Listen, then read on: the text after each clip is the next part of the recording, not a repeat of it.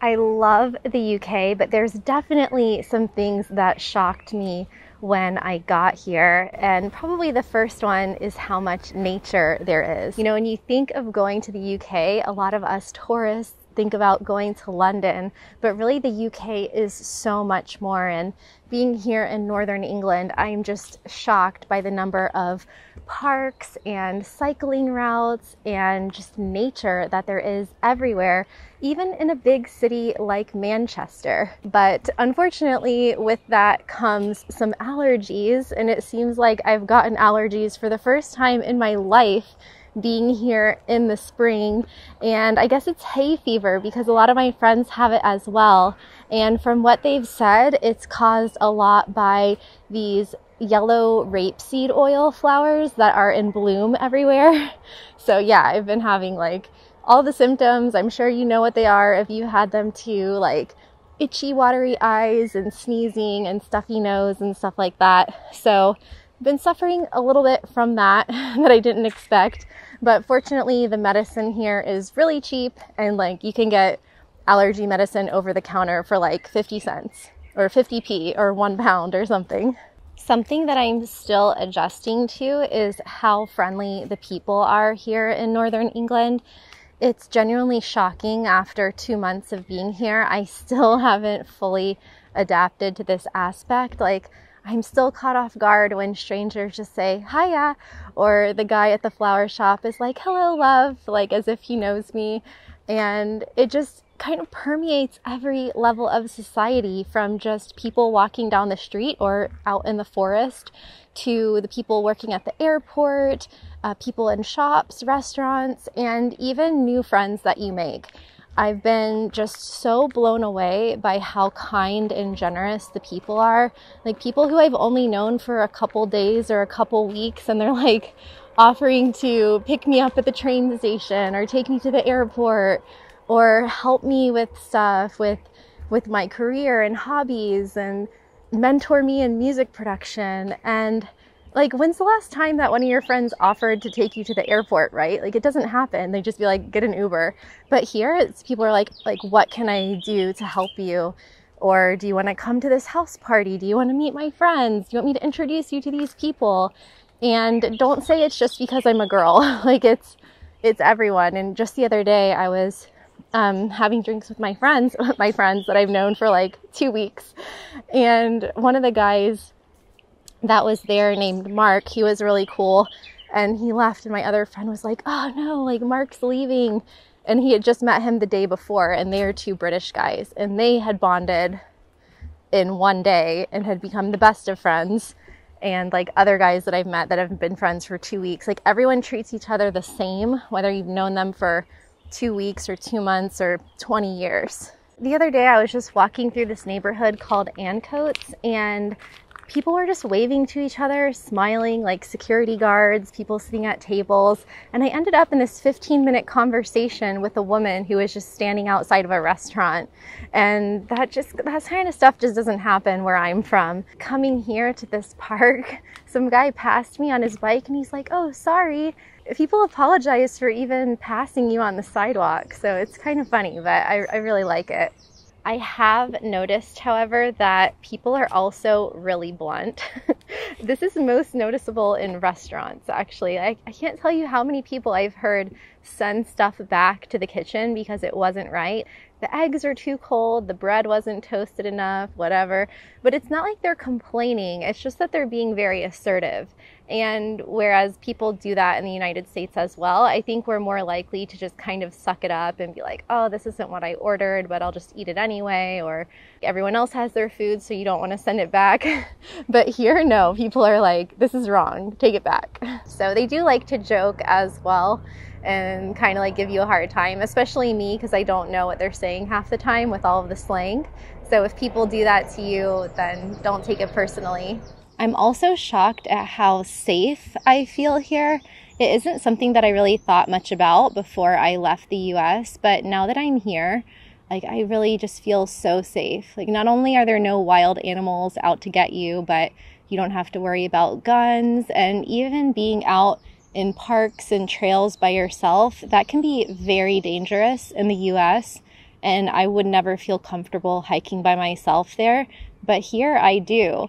And um, people say, like in my neighborhood, they're like, you don't have to lock your door here. And that's definitely not the case in Florida. So that has been shocking in the best way. All right, and we got to talk about the food, you guys, because I am still shocked at how good the food tastes here.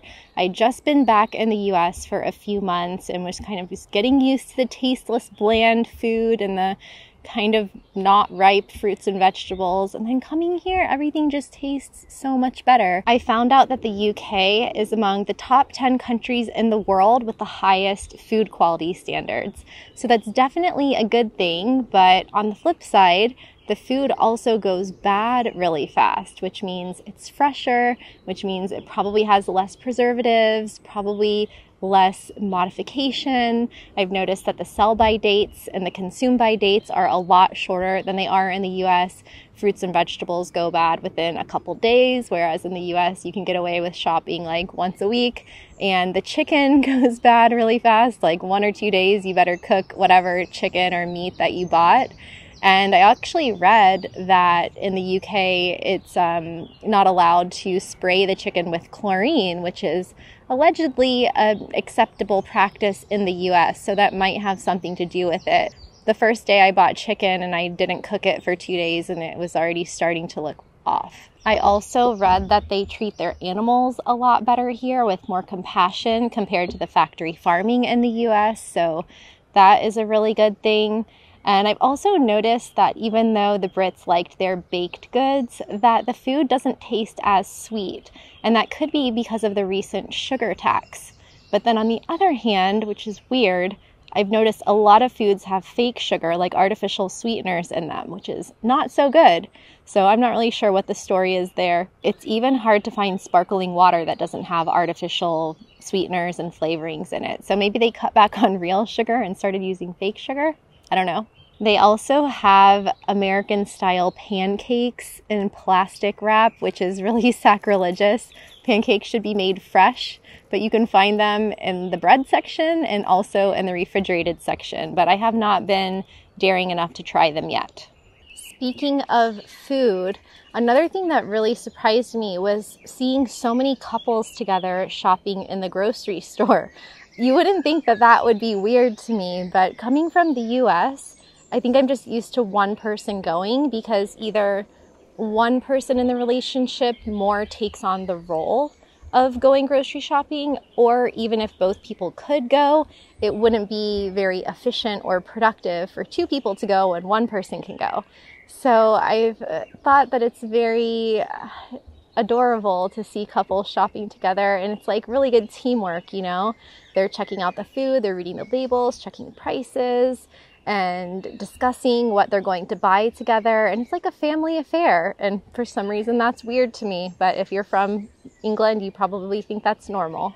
The recycling is also really impressive here. I've gotten so used to composting that I don't know how I'm going to go back to normal life in the US without it, or anywhere in the world for that matter. There's not that many countries that have this level of composting and recycling, but I think most of them are probably in Europe. But I have five different recycling bins at my house, and in the US, we have one, and like most of that's not actually recycled. So here in my neighborhood, they recycle around 70 to 80% of all of the trash, whereas in the US, the national average is more like 32%. And that includes a lot of trash that's not actually recycled, like trash that they burn or trash that's collected at construction sites and things like that. So I don't know. I, I wish that more countries would invest in greener ways uh, to reduce waste, and it's just been really impressive here how they do things. A lot of things just seem to make logical sense here. Maybe it's that British sensibility, but even things I noticed, like going to the airport, where in the US it's kind of a free for all with cars blocking each other and people trying to get out on the streets, whereas here they just have these little diagonal parking places where everyone can park and drop off people and then be on their way without blocking the road. So I don't know why in the US we haven't done anything like that. Maybe it's for security reasons, but if you've ever been to LAX or New York or Miami International or really like any major airport, you know what I'm talking about. And I was shocked the first time I got to Manchester and I saw people just leisurely parking in front for a minute, dropping off their guests, and then being on their way with no stress. They also have a lot of common sense signage around, whether it's road signs or ads that you'll see on a bus stop or on the side of the road or a sign that someone put on the bathroom door or something that's broken. It's kind of like it seems like the signage is here is just kind of talking to you matter of factly, or if it's something like from the NHS, from the National Health Service, it'll be just, you know, some practical information that you might want to know. And there's some way that they go about writing the signs where you just feel like it's very direct versus in the US, everything seems like it's marketing to you. One thing that I'm definitely still getting used to is walking or biking on the left side of the road. I just feel a little disoriented all the time and I feel like I look back and forth like 10 times before I cross the street.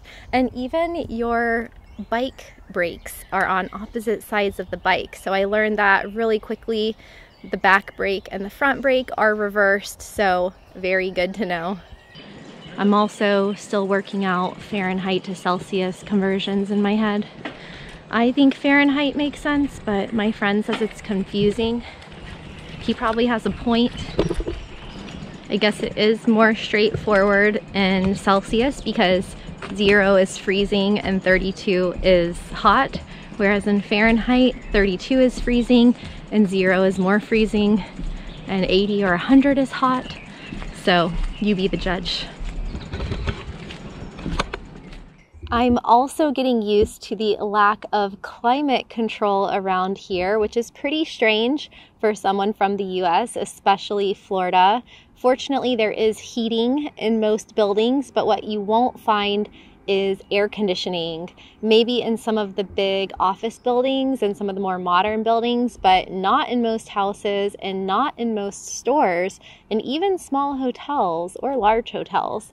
So that's definitely taken some getting used to. Even the big department stores like Zara won't have air conditioning. So it's a bit weird for an American like me, but um, I'm adapting. The scary thing is that people didn't need air conditioning here for most of history, but it seems that things are getting a lot hotter these days. So even though people are definitely enjoying the sunny and warm weather, it's it's a bit scary to think of like how warm it actually is in Europe these days. But what's probably shocked me the most is the price of housing here. Now, I know that London is expensive, but I didn't expect the market to be so competitive in Manchester. I've heard that it could be because a lot of people are moving out of London to Manchester in search of cheaper housing, so maybe that's putting some upward pressure on the prices. But also, it seems like the UK is in a housing crisis in general in most of the country, and this has to do with a lot of reasons from a lack of building houses to general inflation, population growth, and just higher demand. But I was so surprised at how competitive it was here, even to the point that if you go to an open house, there could be 30 other people competing with you for the same property. And that's something that you would see in New York or LA. I didn't expect that here and the prices were really high. The, the market's super competitive, and it might even be that the landlords and the rental agencies don't even reply to your inquiries, which is just crazy. But I mean, Manchester is the second biggest city in the UK, so there's a lot of people here looking for housing, but that is a problem that I definitely didn't anticipate to the degree that it is here. But anyway, what shocked you the most when you came to the UK? Or are you a local and you can help me make some sense of these cultural differences? Let me know in the comments below. Subscribe if you're new here and click over here to see what shocked me the most about Ireland.